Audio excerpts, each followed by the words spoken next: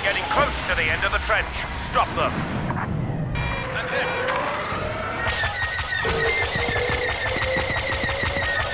Heavy fire. Going down.